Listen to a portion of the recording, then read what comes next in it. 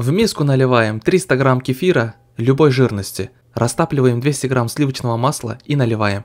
Куриные яйца крупные 3 штуки. Ингредиенты все пропишу в комментариях и в описании. Полторы чайные ложки соли и 3 чайные ложки сахара. Все замешаем, чтобы более-менее перемешалось. И насыпаем муку. Муки понадобится 750 грамм, но вы добавьте чуть меньше, при необходимости добавите еще. Сверху муки положите одну чайную ложку соды. Соду гасить ничем не нужно, ее погасит кефир. Получается такое мягенькое тесто, но оно не липнет к рукам. Положим его в пакет и пусть отдыхает минут 15-20. Делим тесто на две части, скалкой его не раскатываем, а расплющиваем просто рукой, примерно толщина сантиметр. В это время духовка разогревается, где-то 180-200 градусов поставьте. Переложите тесто раскатанное на противень, можно в принципе прям там на бумаге раскатывать, но кому как удобно. 1 килограмм тыквы порезал на мелкие кубики и потом выкладываем сверху. Ее разровняли более-менее, насыпаем по вкусу сахар, если хотите, и немного соли. Примерно 50 грамм сливочного масла на кубики порежьте и просто положите сверху, раскидайте. Раскатайте второй круг теста, положите сверху и защипите края. Сначала просто так защипите, а потом сделайте такой типа узорчик, чтоб покрепче было.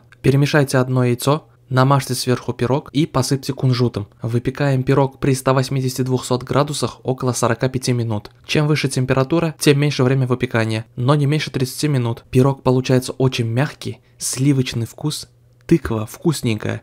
Вообще классный пирог. Кто любит тыкву, это вообще идеально. Готовьте точно по этому рецепту и не пожалеете. Не жалейте своих лайков, подписывайтесь, если не подписаны.